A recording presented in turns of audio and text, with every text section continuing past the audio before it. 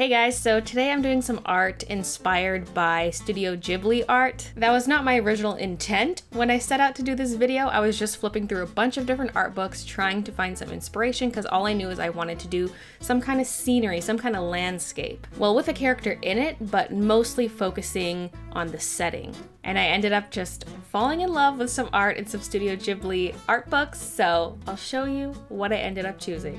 Okay, so first I was looking through the Howl's Moving Castle book, and there's so much great stuff in here. What I love about the Ghibli art books is they're so thick, there's just so much art in them compared to American animation studios. It's just great. Oh, there's so much to look at, and this really caught my eye right here. These women in their dresses and how we're seeing them from behind. That really spoke out to me because I knew I wanted to do some kind of landscape scenery art and I thought that would be the perfect way to include a person is have them from behind like that and I just love the look of the dresses and the hats and I wanted to do something like that. And then in the Kiki's delivery service book I came across this art right here, the one on the bottom of the page, stunning, just really stood out to me. I loved the combination of land and water in that and so I ended up highly, highly referencing these. It's almost a study. I did change it up to make it my own, but it's very heavily influenced as you will see. It's like, oh, can I copy your homework? Yeah, but make sure to change it up a little bit. So that's me crediting my sources. I'm using some Arches watercolor paper and I taped it down to a wooden board using some masking tape and then went in and started sketching. I don't have a sketch underneath that I'm tracing. I'm kind of just going for it, but I did do a super, super rough sketch digitally just to plan it all out and that's what I used as reference for this. Then I also had the Kiki's Delivery Service book propped up on the desk so I could look at it and reference that for the colors and stuff like that. So here I'm applying some masking fluid. Ugh, all my masking fluid is so old. And I had this Winsor & Newton stuff, which was great, and that stuff you have to apply with a brush because it just comes in a little jar. But one time it got knocked over in the drawer I was storing it in and it spilt, even though the lid was on, it all leaked out and so I had to just throw it out because it was empty and I kind of forgot about that when I went to go get my masking fluid today and so I'm using this stuff here which is neat because it has a fine tip applicator but it's it's also just very old and so I wasn't sure how well it was gonna work. I haven't actually used this blue one before. I don't think I had a yellow one like the packaging was yellow and I've used that one a few times but this one I hadn't but I thought you know what this is all I have I'm just gonna go for it. I didn't want to use masking film because that involves you using a knife to cut through the film and I'm really bad at that and I end up cutting into my art a little bit. And so I just thought I'll use the fluid, why not? Because the plan was for this to be a watercolor illustration and a marker illustration, like combine both, but it ended up being almost exclusively watercolor with a bit of gouache. That's why I'm masking off areas because I knew for coloring the green water, the green water, the blue water and the green land, I would need to just do very large strokes and I thought, okay, let's let's mask off some areas.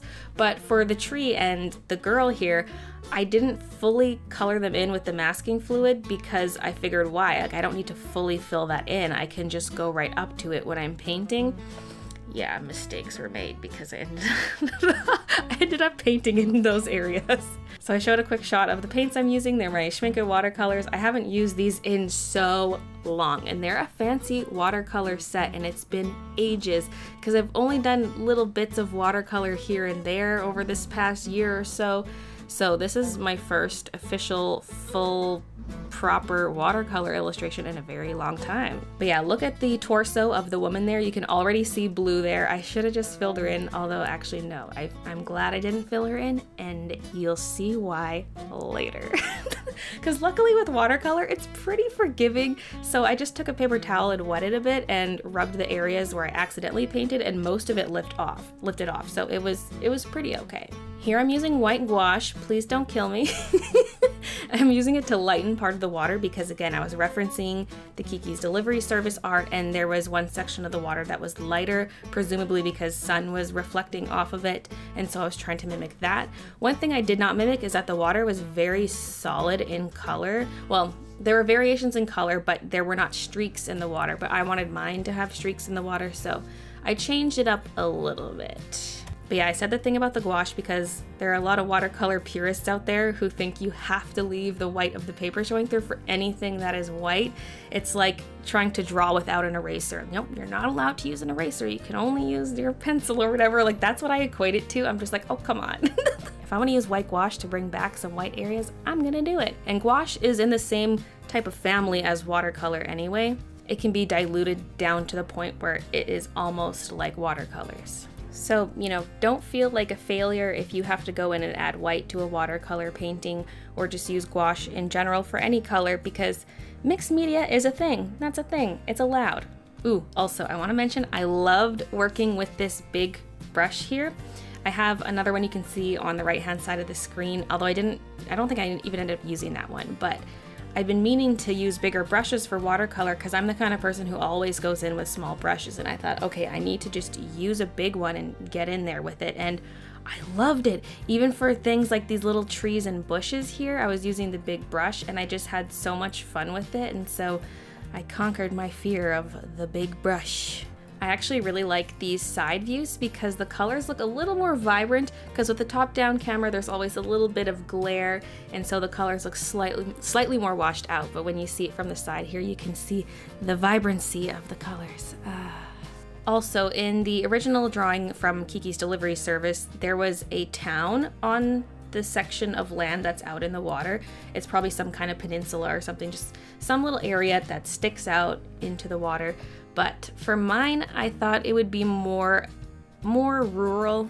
I picture this being people's vacation homes maybe. Maybe they live there year round but it's by the water and they have docks there where they can dock their boats. And it's more it's more of that feel more of on the lake feel instead of city by the water.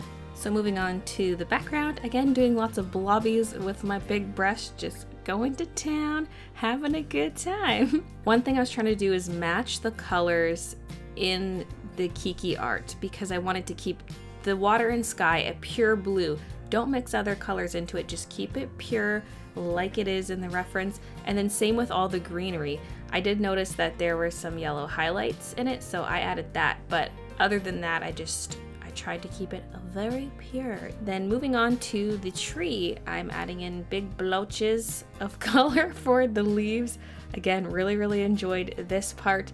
I decided to make the bark like a birch tree, but the foliage up top is not necessarily like a birch tree. Like maybe it can pass as a birch tree, I don't know but I did the leaves first and then later realized that's not really what a birch tree looks like, but I still think it looks kind of cool. For each little cluster of leaves, I made sure to just shade on the bottom and then add a bit of white highlight on the top. And I knew once I removed the masking fluid, I would go back in and add more. Because obviously some of the leaves are gonna overlap the branches. I did the same thing in the foreground for the little bush, and yeah, it was looking cute. I, I was loving how it was looking at this point.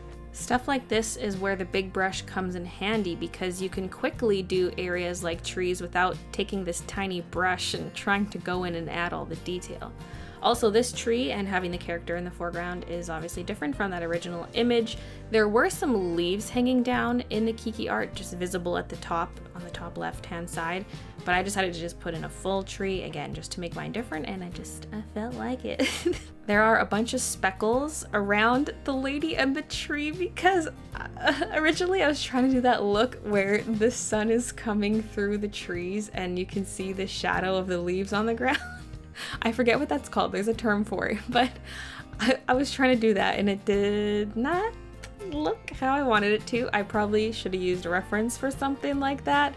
So, you know, power of reference. If you're trying to do something you've never drawn before, use reference. I later smoothed that out, as you'll see. I, I, I nixed that idea.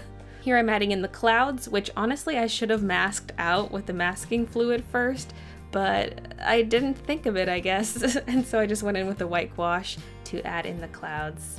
They're mostly white on top with more of the blue showing on the bottom of the clouds. So now I'm removing the masking fluid. Okay, this was the worst thing ever. This masking fluid did not want to come off. So if you don't know, when it dries, it's it's rubbery and it was not coming off. Normally it's pretty easy to lift off. You can kind of just rub it off. You're not supposed to use your fingers because then your oils get all over everything and you can actually rub some of the pigment off. But so I was trying my best to not use my fingers as much as I could, even though my fingers weren't really helping. But I was trying every tool I had. I was using the end of a paintbrush because I had a flat end. I was using that purple scraper tool. I was even using this clay tool that has a rubber end because I thought rubber on rubber might help. I was using the eraser as you can see here. And for this house here, I'm showing the full process of me removing this stuff just to show you how much effort it took to get all of it off. I found that the be best method was to scrape off as much as I could, then go in with the eraser and it would form almost like this paste and then I would scrape off as much of the paste as I could and then erase again, scrape, erase, scrape, and so on and so forth until it was all clean. And oh my gosh, I spent well over an hour removing all the masking fluid from this wretched thing. okay, it's not a wretched piece of art. It's the fluid, the masking fluid, that's the wretched being.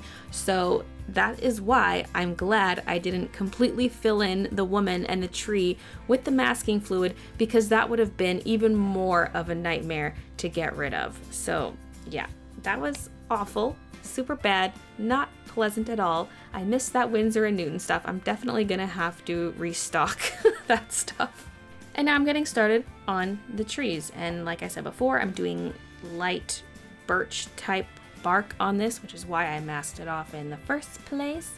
And while layers were drying, I would move on to other areas, just kind of jumping back and forth, working on the painting as much as I can. I switched to a smaller brush so I could get in some finer details on the docks and the houses, all that good stuff. In my drawing, the light is coming mainly from the right hand side. It was the opposite in the picture I was looking at, but yes, I made mine coming from the right. So I was trying to keep that in mind as I did the shadows for things like bushes and trees, and as I shaded in the sides of the houses.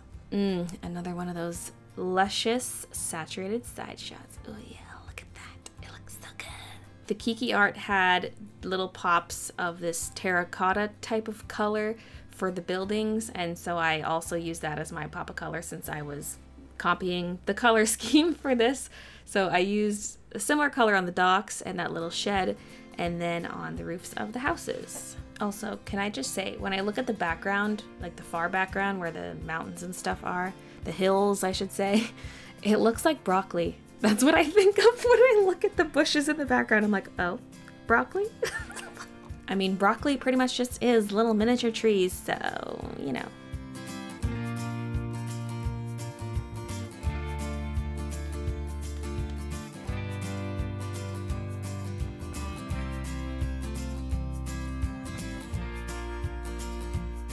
Here I'm going in and finishing up the trees. I'm adding the stripes on the bark as well as those little eye-shaped bits and adding in some more leaves to overlap some of the branches.